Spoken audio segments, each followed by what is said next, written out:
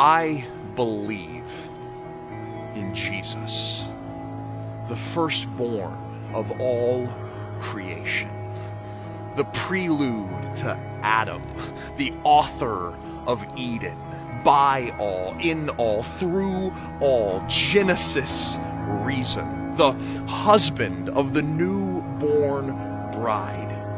I believe earth is one of his love's brightest beacons. I believe in Jesus, the infant king, ruler of the heavens, the universe's spring, and yet he took the frailest of forms, the weakest of things. For our mighty God was not too proud for the stable and trough of Bethlehem's sting. I believe in Jesus, the forgiver of men. Since man would not come to God, God came to them. Though we spit in his face through our arrogance and sin, holiness still became flesh so that it might be forgiven.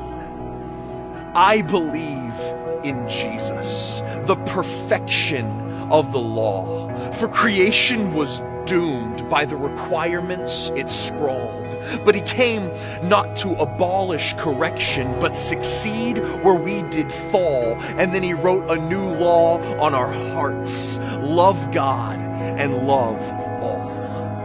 I believe in Jesus, the horribly betrayed unknown by the world, he himself had made, handed over to death by a follower to whom some silver was paid, disowned by a friend three times in one day. I believe in Jesus, the ever turning cheek, no sword in his hand. He took the way of the weak, redefined strength as beaten and meek when men struck him on his back only forgiveness did he speak. I believe in Jesus, the servant on the cross, to save the lives of the sinful. He considered his own life lost, endured the torture of men, whips and nails in his flesh were embossed, received the righteous wrath of God, the judge bearing our judgment the ultimate cost. I believe in Jesus and that flesh in the tomb.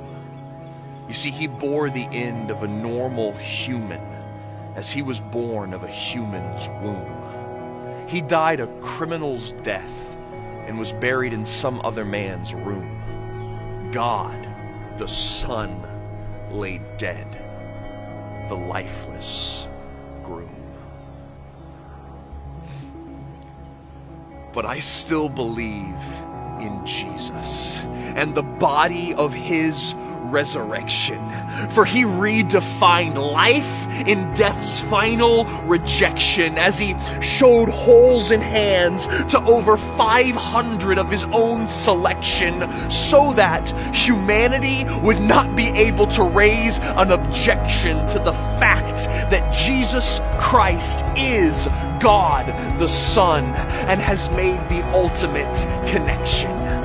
So I believe in Jesus and the commissioning of his ascension. For he ascended to God's right hand forever in intercession, leaving his truth in the hands of a few, those first to be called his Christians. His hands and feet are now the church, his boundless, reconciling expression. This is our heritage. They are our relatives, and this, this is our confession. We believe in Jesus Christ, his death, burial, and resurrection.